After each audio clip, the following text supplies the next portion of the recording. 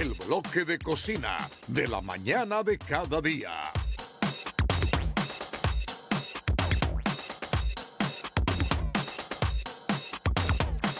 Un minutito nada más para las 9 de la mañana y ya estoy con un gran amigo, es un gran amigo nuestro, aquí en la gran familia del Sistema Nacional de Televisión, Jesús Cáceres. ¿Por qué? Porque vamos a hablar de a todo pulmón y vamos a hablar de las actividades que se vienen. Jesús, querido, bienvenido a tu casa. ¿Cómo estás? ¿Cómo estás, Chiche? Bien, Gracias, placer gracias. tenerte. No, Te hicimos madrugar hoy, Jesús. No, no, no, se acostumbraba a amanecer temprano.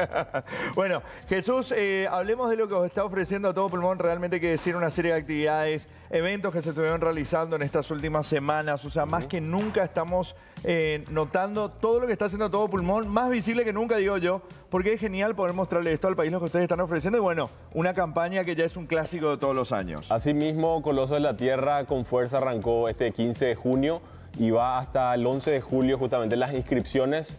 Queremos comentarte que más allá de lo que siempre hacemos de premiar a los árboles más grandes, esta vez queremos abrir el abanico para nuevas posibilidades.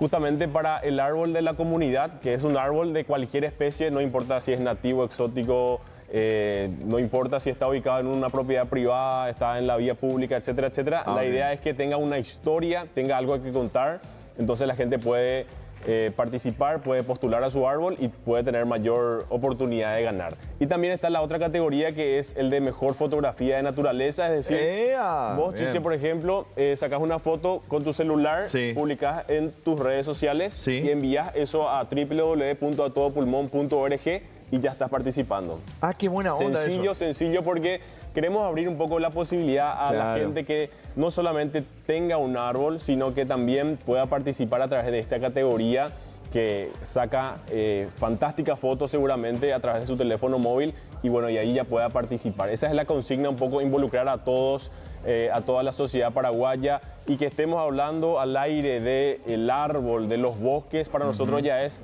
algo grandioso porque pone un poco eh, en la agenda hablar de los bosques, hablar del ambiente. Bueno, en este junio que celebramos mucho, celebramos el 5 de junio, el Día del Ambiente, celebramos el 19 de junio, Día del Árbol, árbol, Nacional. sí, sí, sí. Y bueno, y hablar también ahora al aire de un árbol, de los bosques, para nosotros es sumamente importante. Acá estamos compartiendo unas imágenes de lo que es Coloso. Es una iniciativa ciudadana importantísima y digo esto porque nos da la oportunidad de poder conocer, los que fuimos a las expediciones, conocer lugares increíbles de la República del Paraguay. Paraguay tiene unas bellezas, en las imágenes hablan por sí solas, todo lo que nos toca atravesar, entrar de verdad ahí en ese bosque bien espeso para poder llegar hasta un árbol gigantesco de dimensiones realmente que nunca uno podía imaginar.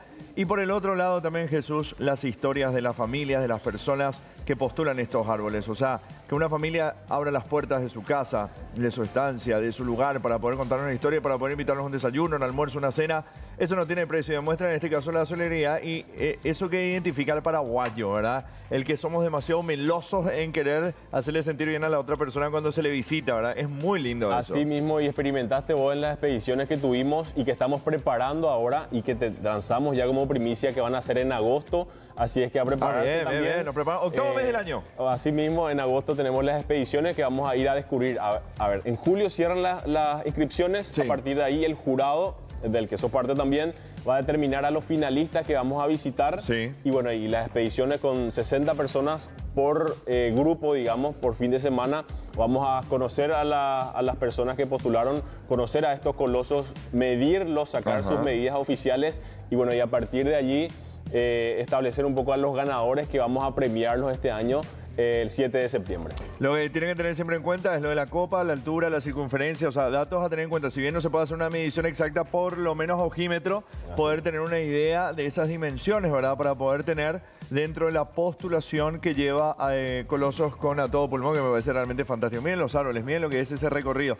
Y esto involucra a muchísima gente de los medios y también involucra muchas empresas con responsabilidad social, empresas que están pensando en el futuro, en la preservación de nuestros bosques, en el cuidado de la historia también de estos árboles, que bueno, que evidentemente pueden seguir sumándose para Así poder mismo. ser parte de esta expedición. Asimismo, hay tiempo. eh, generalmente el mayor volumen se da en los últimos tres días de inscriptos. No queremos que, que se inscriban a última hora, tienen tiempo, Sí. así es que hasta el 11 de julio las inscripciones abiertas de Colosos en la Tierra, eh, 12 edición. Bueno, para esta doceava edición se mantiene lo de eh, árboles nativos. Eso sí, para el hay. concurso. Ah, Siempre hay árboles Sí. nativos que participan por las medidas. Sí. Tenemos otra categoría que es el árbol de mi comunidad. Entra cualquier Ese sí árbol. entra cualquier árbol, Puede ser un mango, puede ser un pino, no importa la especie.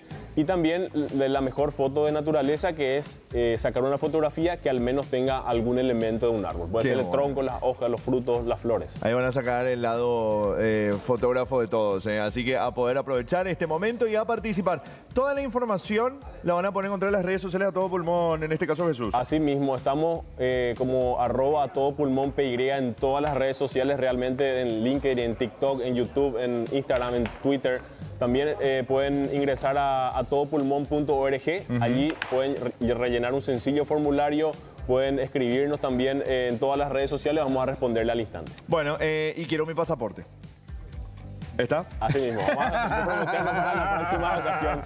En el último momento vi que ya estaban teniendo todo este pasaporte. Así Qué lindo mismo. es poder hacer, o sea, hay muchas acciones que se están llevando paralelamente a estas grandes actividades que tiene a todo pulmón que realmente es fantástico. Así mismo, realmente el pasaporte consiste en un, un pasaporte que permite visitar a los árboles ya ganadores de años anteriores. Es decir, la gente quiere visitar a los árboles ganadores, puede hacerlo a partir de ahora. Qué genial. Bueno, todas las iniciativas y todo lo que ofrece Todo Pulmón en sus redes sociales. Agradecer a Jesús Cáceres como director de comunicación estar en esta mañana para poder invitarnos. Esta es la primera de varias visitas que vamos a estar teniendo y más que nada poder acompañar también las expediciones con el SNT en los viajes. Así mismo, acompañado siempre por SNT. Qué grande, gracias Jesús. ¿eh? Jesús Cáceres, gran amigo nuestro, aquí en la mañana de cada día. A todo el equipo de Todo Pulmón también muchísimas gracias. Al querido Osvaldo, un abrazo muy grande. Y a todos, ¿eh? ayer hubo after de A Todo Pulmón.